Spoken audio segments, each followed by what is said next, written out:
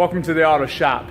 Um, part of my industrial arts load is I, I, teach some basic auto and auto maintenance and just about cars and how to do the, your, your maintenance involved in cars.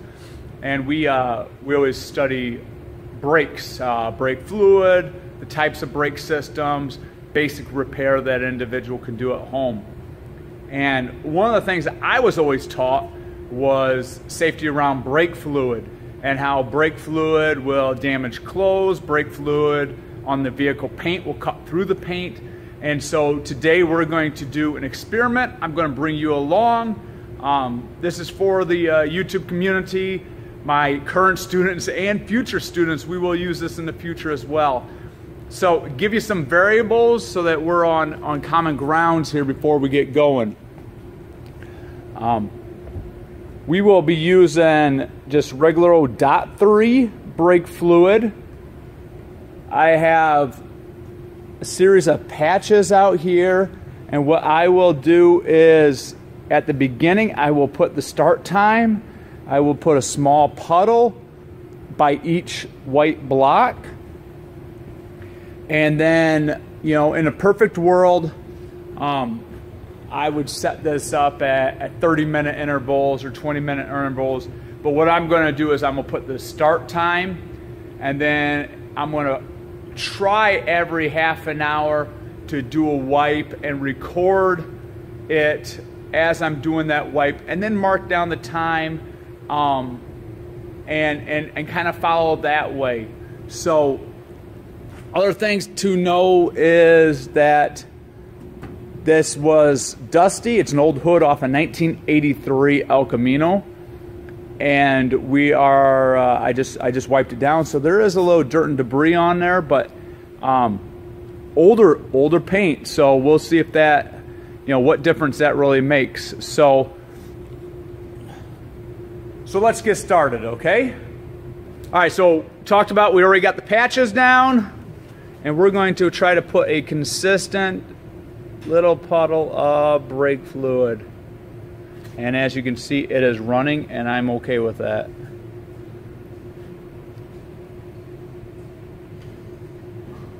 And you do not need to see me do all of this, but that's what we're going to do. It is 7.50 in the morning.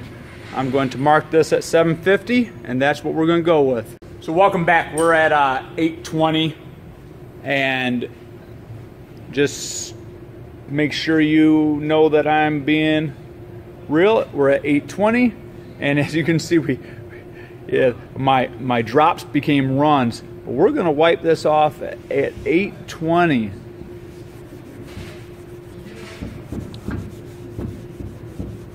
And I would say that We could see that there's some oily residue and probably need to get a rag that's a little more absorbed.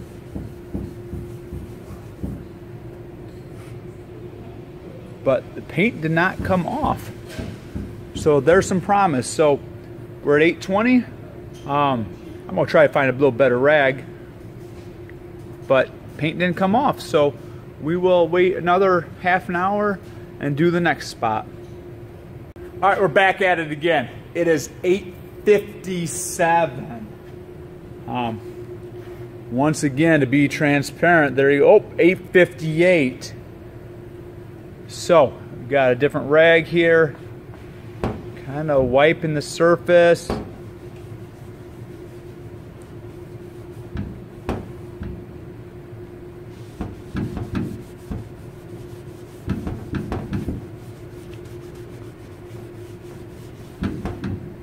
Any difference, you can start to see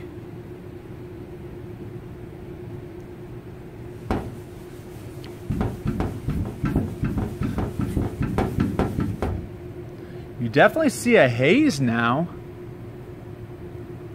where that uh that bubble line was. Um yeah I'm sure that would buff out but that's where we're at at uh, hour and seven minutes in.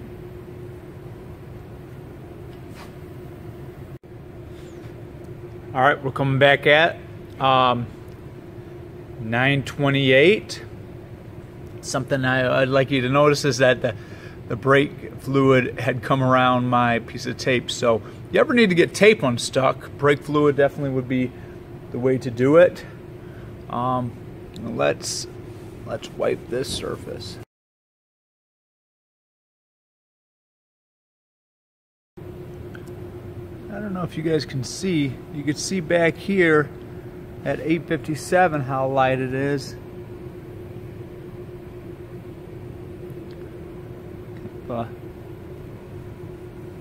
Get in the shine of the light. But you can definitely see a, a circle around where the brake fluid sat. Um,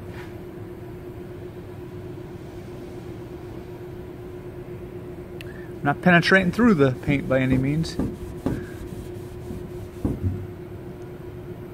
All right, well, uh, we'll continue on and, and wait. All right, folks, we're back at 10.05. We got one more spot to wipe here. There you go, being transparent, right? 10.05 and 30 seconds. And once again, we just see it stained. That paint's not softened any yet, so there you go. We will check back later. All right, we're coming back. It is 11 o'clock. We had to take a little break there. Went next door to the wood shop. So let's take a look at this. Seems to be polishing the paint if nothing else. So there you go. 11 o'clock. We are now just a touch over three hours.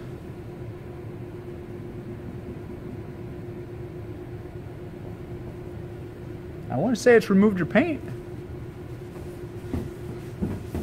Definitely is leaving a mark, but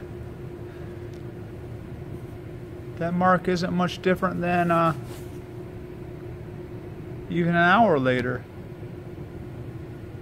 All right, we'll test back after a little bit.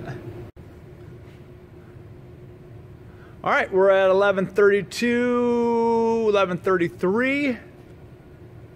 And we are going to remove that brake fluid off the other spot.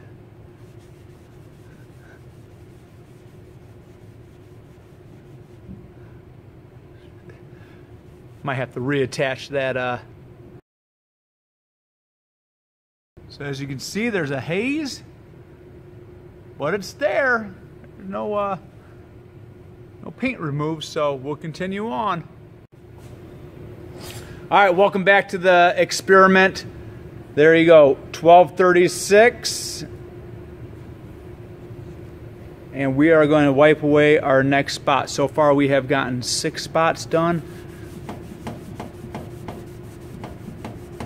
And we're not having, I think it's a myth, folks. You know, clearly it is leaving color on the rag, but the paint's not getting removed.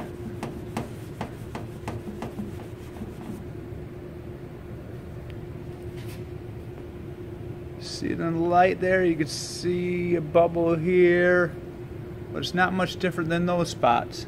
So, red, uh, oh, we're sneaking up on five hours, so we'll, we'll, we'll check back in a little bit more. So we're at 141. And we're an hour and 10 minutes, hour and five minutes after the last removal.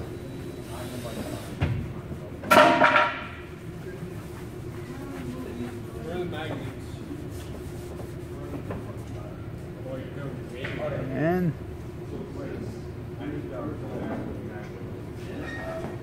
paint still attached. So we'll we'll continue on. Okay, last little clip of the day 235, 236. looks to me like gravity has pulled some of this already down. You can see right, right around here is the circle, but the paint's not removed. Think that tape's removed.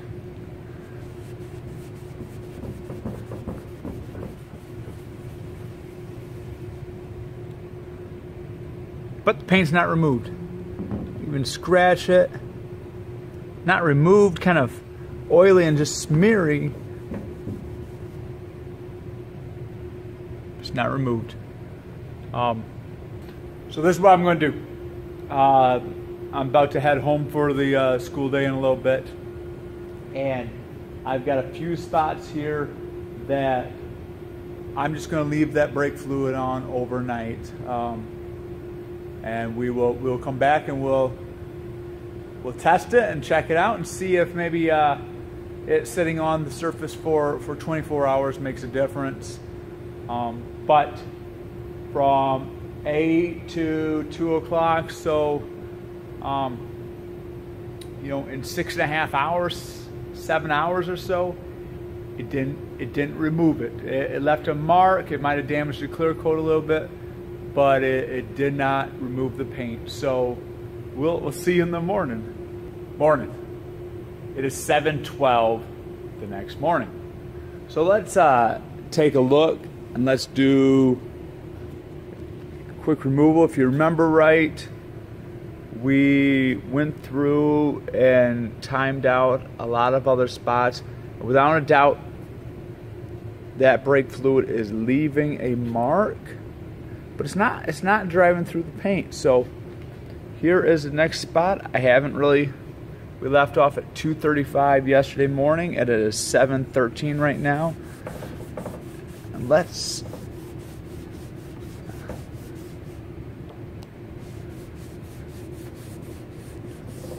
There's some additional runs.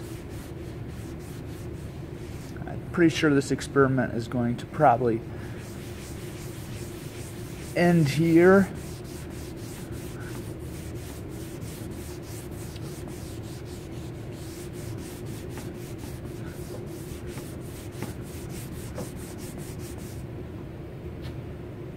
We could see that it is sitting on there for uh, just shy of 24 hours.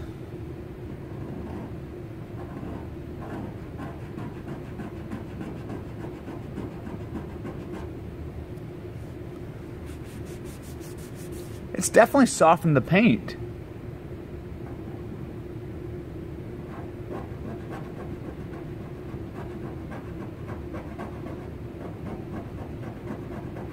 Yeah. Where even that spot, it would smudge it, but it's not going to remove it.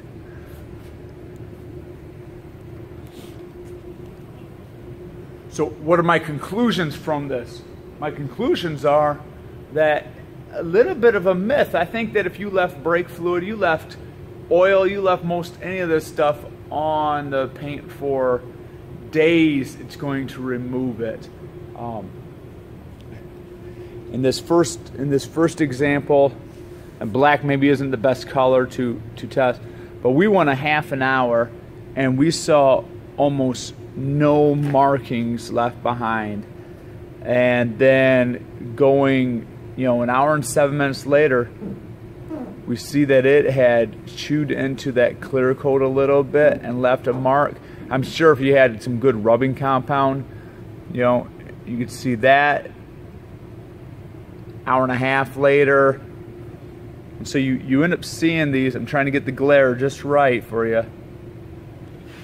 But you can see the markings.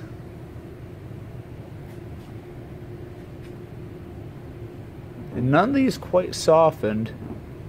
Um, and I'm, I'm pretty certain that if I continued, like I said, this, this paint now feels like uh, almost textured where these just felt smoother, like, like you'd uh, wet sanded the metal. This now, it, it's actually got a pretty good texture to it. Um, so thanks, thanks for uh, thanks for going on this little experiment with me. Um, I think that this is uh, has been enlightening to to me. So thanks for your time. Bye.